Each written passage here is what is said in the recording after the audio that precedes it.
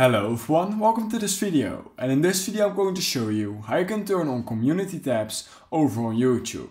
So if you just created your new channel or you have been using your channel for a while right now and you've actually been posting videos but you just don't seem to get access to that community tab right here, then here's how you can enable it because it's actually quite easy.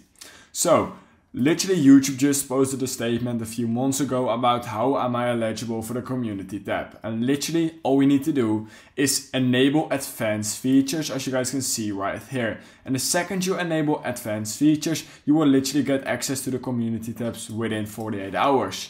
So how do I enable advanced features? Well, it's actually quite easy. So you want to head over to your YouTube channel, you want to enable advanced features for, and then you want to click on your profile picture in the top right corner of your screen, and you want to simply click on YouTube Studio.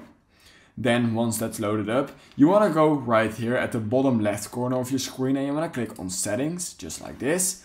And then what you want to do is you want to make sure to click on channel and you want to click on feature eligibility.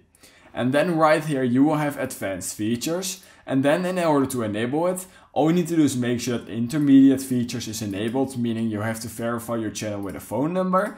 And then after you've done that, you will be able to need to get one of these things as well. So you need to either do video verification and valid ID, or you can do channel history. So what does this mean? Well, you need to at least have intermediate features enabled in order to get access to advanced features, plus you also need uh, have done one of those things. So either video verification, valid ID, or channel history.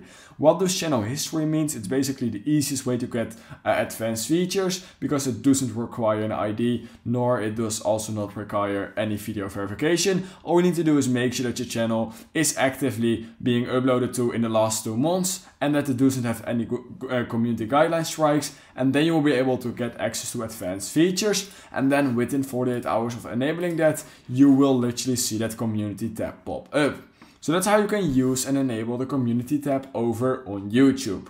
If you learned something from this video, I would highly appreciate it if you could like this video and subscribe to my channel and I hope I will see you in my next YouTube tutorial video.